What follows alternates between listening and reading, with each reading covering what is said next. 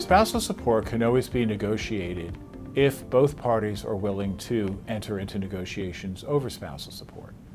One thing that one wants to consider when a spousal support obligation arises in a case is whether or not uh, the other side would prefer to have marital property as opposed to a monthly payment every month.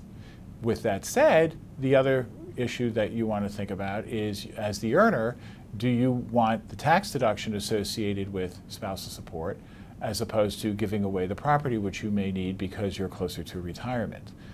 Um, ultimately, it's a balance between what both parties want, and if both parties are equally happy or equally unhappy, then you've reached an agreement that's probably going to last a lifetime.